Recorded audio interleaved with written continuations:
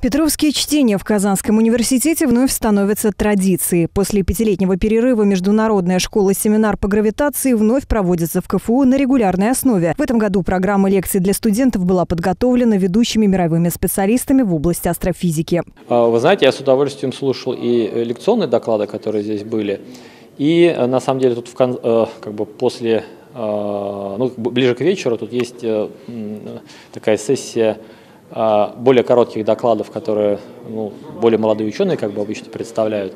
Она на самом деле тоже очень интересна. Там много, много есть чего интересного, и на самом деле люди развивают очень активно э, вот, э, гравитационное направление космологическое, что, конечно, связано с тем, что очень большое, э, большая информация новая, именно экспериментальная, пришла в эту область. Много экспериментов, много э, телескопов работает, и физика наука экспериментальная, и астрономия, как ее часть, э, очень активно развивается в последние годы. Это может быть самая активно развивающаяся область. А тематика этой школы, она задумана так, что обсуждаются, наверное, все самые горячие моменты а, области, там, которые есть сейчас вот, ну, в рамках космологии. Это означает, что в, э, в принципе можно сформировать вот, э, понимание молодежи, куда двигаться, на какую тему писать гранты, с кем можно советоваться, с кем входить в контакт. Вот это вот очень важно. История петровских чтений ведет отсчет с 1987 года. Школа-семинар по гравитации для студентов и молодых ученых названа в честь основателя кафедры теории относительности и гравитации Казанского университета, выдающегося физика и математика Алексея Зиновича Петрова. Петровские чтения в Казанском университете проводились 22 года подряд. После некоторого перерыва школа продолжила свою работу в 2014 уже в зимнее время. В этом году КФУ провел вторую зимнюю школу-семинар «Петровские чтения», которая собрала около сотни ученых и студентов. Э, немножечко сместился фокус работы этой школы. Если раньше она э, была больше посвящена общим вопросам теоретической и математической физики, сейчас э, мы больше в рамках нашей школы обсуждаем вопросы, связанные с астрофизикой, вопросы, связанные с космологией, то есть устройством Вселенной в целом, вопросы, связанные с теорией гравитации и различными проблемами в этой области. И вот э, уже второй раз мы собираем такую школу. В этом году особенность этой школы в том, что очень сильный и очень интересный состав лекторов. The ones I'm more interested больше всего меня заинтересовали доклады по гравитации и космологии. Только что мы продуктивно пообщались с профессором Старобинским и с профессором Шин Ичи и Наоджири из Японии. И я всерьез увлечен всем тем, что происходит здесь.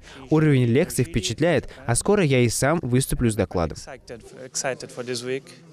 В этом году меня вот сейчас абсолютно пленило открытие школы-семинар, потому что было все так четко, конкретно организовано. Говорилось о больших задачах, которые стоят перед мировой наукой, которые стоят перед Казанским федеральным университетом и которые решаются в рамках программы «Астровызов». Вот это вот меня очень поразило, потому что действительно настолько дерзкая, нормальная, по-хорошему программа, что хочется в ней также поучаствовать. Тем более вот наши тематики совпадают, естественно.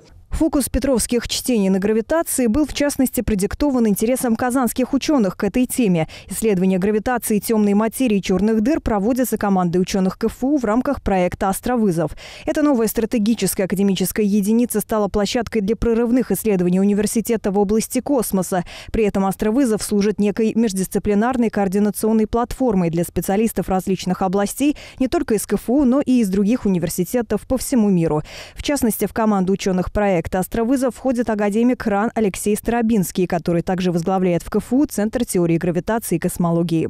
Я считаю, что нас, что нас э, работа идет успешно, по, получен ряд интересных э, результатов, и эти результаты были как раз вот отложены на этих петровских чтениях. Вот, в, в частности, этот центр а, организовал международную школу, школу, школу семена, которая называется Петровские, Петровские чтения 2000, 2016. И вот, в частности, очень значительное количество докладов на этой конференции как раз и есть э, результаты, полученные в нашем центре. Руководство Института физики КФУ уже планирует следующую школу-семинар по гравитации. Ожидается, что в 2017 году Петровские чтения пройдут летом или осенью.